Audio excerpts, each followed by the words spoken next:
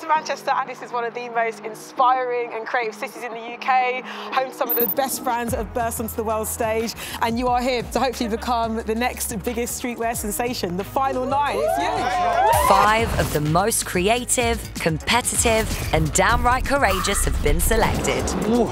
To be judged by resident experts Dominic Skinner. Hi, Dom. And Val Garland. The show must go on. What and we got chicken nuggets. What and I'm a tasty nugget. What and she's a sexy nugget. And she's a twerking nugget. It all comes down to two teams left to battle it out for ultimate glory to become the first Fast and Farmerish champions. Boys, start your engines.